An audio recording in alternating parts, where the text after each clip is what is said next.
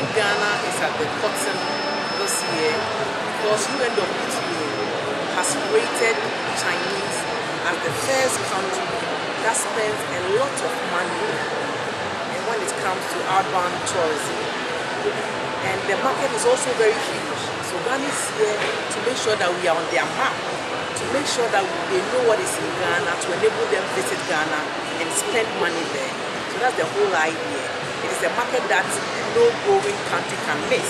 And we are here to take advantage of that. And we are doing good business there by telling them the things that we have in Ghana, investment opportunities, nice places to see.